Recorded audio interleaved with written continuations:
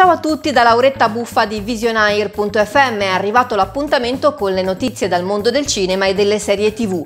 Sono iniziate lungo la strada che costeggia la sponda bergamasca del lago d'Iseo le riprese di Devon House, il sequel targato Netflix di The Old Guard, film con Charlize Theron che ne è anche la produttrice, Uma Thurman e l'italiano Luca Marinelli. La produzione per poter girare alcune scene di inseguimenti diciamo ad alto impatto visivo, ci siamo capiti, ha chiesto la chiusura di alcune strade, in particolare quella tra la località Gre di Riva di Solto e Castro, quindi attenzione. Con l'aiuto di personale addetto, comunque i residenti delle case che si affacciano sul luogo delle riprese potranno accedere alle loro abitazioni e ci mancherebbe, mi verrebbe da dire.